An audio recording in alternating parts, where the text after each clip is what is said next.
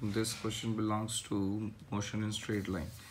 The question is a point moves in a straight line so that its displacement x at time t is given by x square equal to t square plus 1 that here that x is displacement and displacement is a function of time t. Then we have to prove that acceleration is equal to 1 by x cube. Means acceleration is equal to 1 by x cube. Now the solution. Now we know that the give we rewrite the equation x square equal to t square plus 1 we differentiate it both sides with respect to time. Now differentiation of x with respect to t that is 2x raised to power 1 then we differentiate x with respect to t that is dx by dt. Now t square differentiation we can differentiate t square that is 2t and differentiation of 1 is 0 now 2 and 2 get cancelled now we know that rate of change of displacement is known as velocity. Dx by dt is v. Hence x into v is equal to t.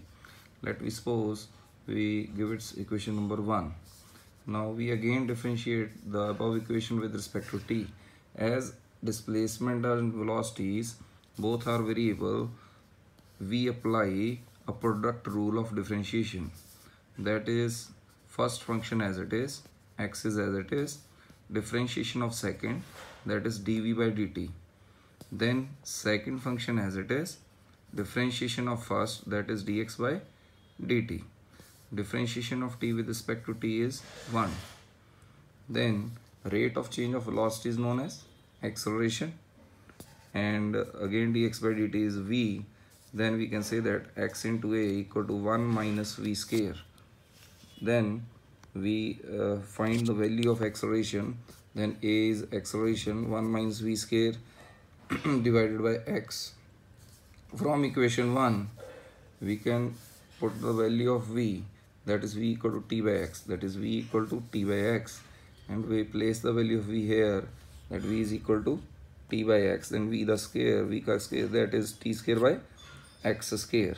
Now we take the LCM this is x square minus t square x square minus t square and x square into x is x cube.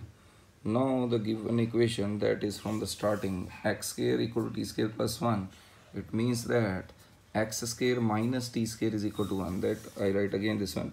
x square is t square plus 1 and then x square minus t square is equal to 1 then we replace the value of this one equal to 1 then we got the value. Acceleration is equal to 1 by x cube. Thank you